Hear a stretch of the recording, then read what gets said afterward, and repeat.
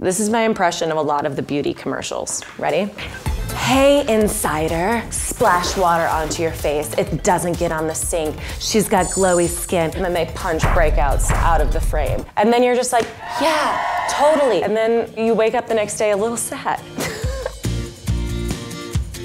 I've always been super curious about these alternative skincare regimens, alternative health regimens. So this month I am making my own skincare products. I'm bringing in expert Tina Hedges. Tina is the CEO and founder of LOLI Beauty. I think you need three products, not 15, and they shouldn't take away what your skin or hair really needs. They should just amplify what you already have. I'm not doing this because I need my name or my picture on a product. I'm doing it because I really believe the beauty industry needs to be stirred up and we need to make a clean and conscious change. It's also come to my attention that a lot of the products that we know and love are completely unsustainable. The way that they're made and manufactured and packaged and marketed is just not good for the environment. You are a, like a New York CEO businesswoman and I have a 2001 Toyota Corolla. I love it. I don't even have a car. Like, at least you have a car. We're here and shopping with Tina is literally blowing my baby mind because I'm picking up these products being like, oh, I like this one. And she's like, it's water. All these products that are sitting on these shelves are products that are made with 80 to 95% water and then over packaged in plastic. So this is our, our haul for our DIY, just modeling it on our Toyota Corolla. When Devin first came to me and said she wanted to do this, I was like, well, how complicated do you want to make this? Yeah, this is the rose hydrosol. Where's the dead fly? Y'all, let me just tell you a quick story about me and chemistry. I'm obsessed with skincare, but I also recognize that, you know, if someone was like, that's an emollient. Mm-hmm, emollient. That sounds like a delicious aperitif. So if you want to make your own beauty products at home, like don't get too fancy right away. Start simple. Simple doesn't mean it's not effective. So for example, we can make a serum. That's just like blending a couple different oils together. One of our elixirs is actually oils like safflower, hibiscus, plum, pomegranate, all with high linoleic acid content. It will not break you out. On the contrary, it'll help your skin actually be clear. Hi, Tina. Hey, Devin. It's good to see you. Welcome to our hippie kitchen. I love your hippie kitchen. Thank you. I've made myself right at home. What are you stirring? I got started without you a little bit, okay. so I, I, just get so excited.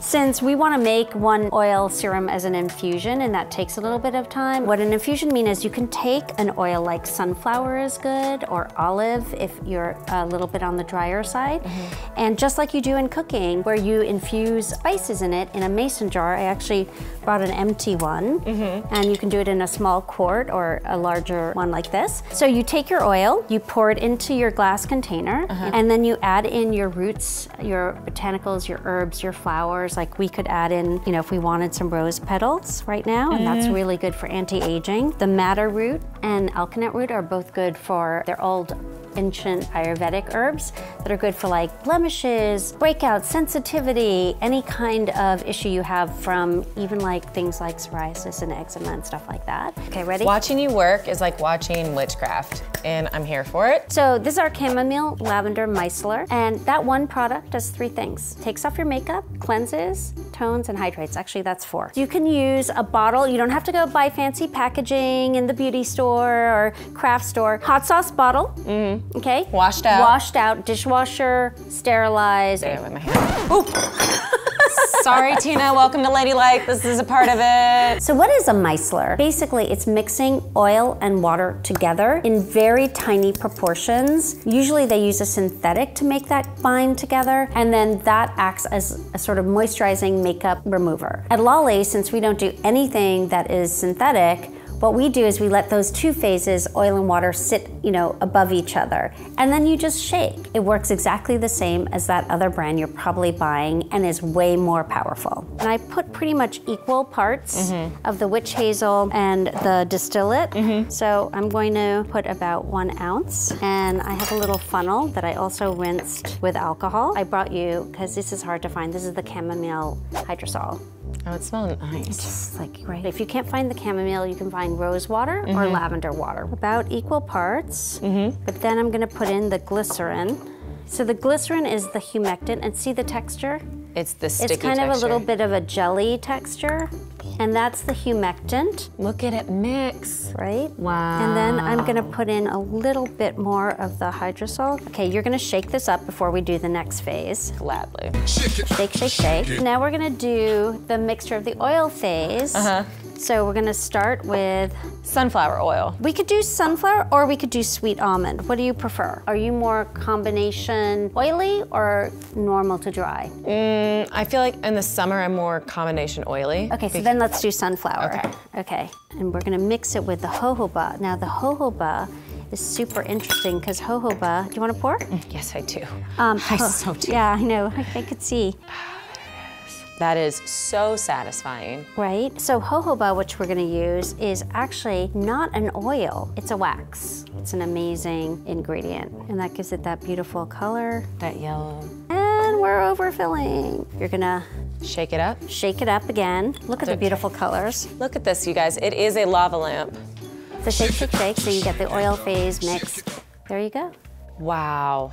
And then that's like ready to use. Keep in a cool, dry place. I want to make sure that I also hydrate and Right. keep my face moisturized. Right. So I kind of want to make this balm that you have here. Yep. And then the third product we're gonna make is that Miracle Balm because everyone needs a Miracle Balm in their cabinet. So you can use it from head to toe, lips, use it to take off waterproof makeup, which Devin sometimes has to wear on set. All of that is super easy, doable, and ingredients you can find in your local grocery store. We're gonna use olive oil, we're gonna use some avocado, some hemp. Since we didn't have any sunflower seed wax, what I did is we got the cocoa butter, which is amazing, and this is actually like totally edible. This is what you make chocolate with. It straight up smells like chocolate, you guys. I actually want to eat some. You could do two things at once. You could make your balm and like Eat some make chocolate. and make some dessert. So we went ahead and we double boiled this. Smell the cocoa. Oh my gosh. Yep. First, we're going to add in some hemp. This should be about one quarter cup, and then you want to do about the equivalent of another quarter cup of your oils. Then your avocado, And then there's the olive oil. and then we're going to add in. Frankincense, because I'm a bougie girl. so you want to do about three to five drops. So then once you're done with this and you've mixed it, right, you could either pour it directly into your container, like our LOLI reusable yogurt jars. These are yogurt jars? yeah. Oh my They're God. food grade, so you can, again, sterilize them before you use them. This is crazy. So I'm literally just taking my makeup off with oil, putting on my moisturizer, which is an oil, and then we're gonna be making one last thing. The, serum. Serum. Get the flaxseed, The flaxseed. and I'm gonna tell you. Check. I don't know why I smelled that. I'm gonna tell you where to pour to. Keep going. A little more. Okay, great. Camellia seed. What is that? It's actually from a flower of the green tea plant. Oh shoot. Yeah. I know green tea. Pour till the top, almost the top. You Leave got a little room because we're gonna put some essential oil. You got it, sister. This is a serum if I wear it during the day. You want to use sunscreen. Five drops of the pink grapefruit, five drops of the sweet orange. Uh, Ten drops 10. of sweet orange. All right, I messed up the recipe already. Five drops of the sweet orange. Uh, 10 drops Ten. of sweet orange. These are my products for the month. Wow. So it's countdown time for Devin. I'm gonna.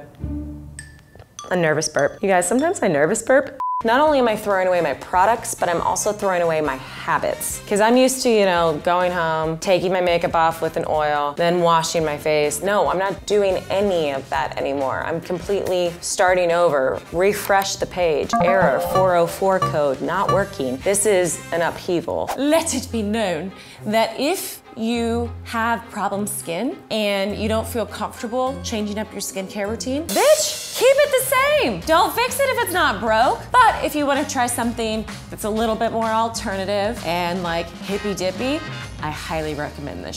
Saturday night, about to take my makeup off.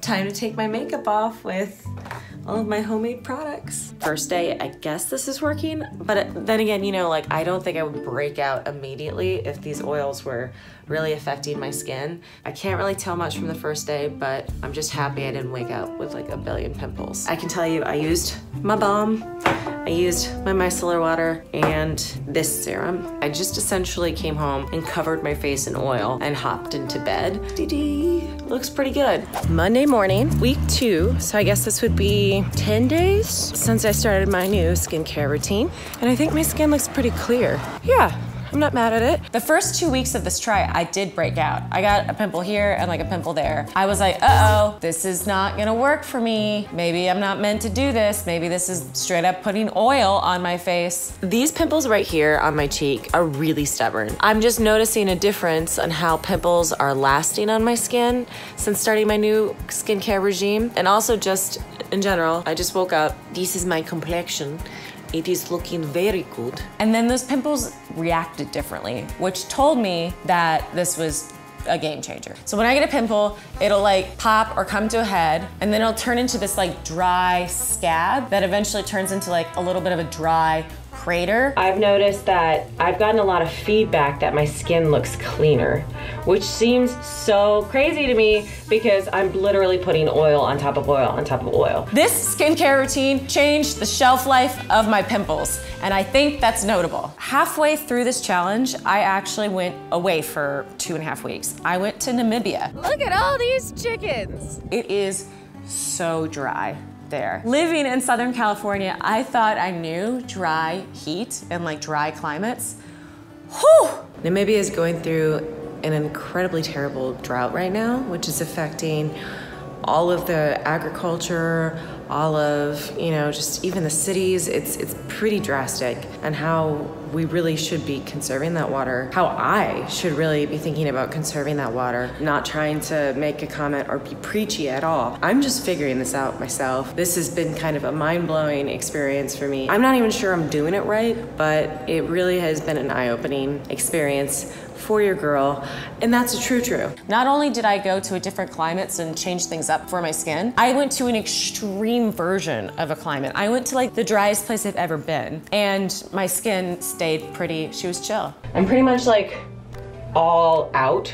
This is the cleansing situation, which was like the witch hazel and the chamomile oil mixed together. And this is what I use to cleanse my face, which means today I have to make more. The most challenging part, believe it or not, and this is gonna sound crazy, was sanitizing the bottles. Gotta wash this bottle, gotta wash it right now. I should probably put this in the dishwasher, shouldn't I?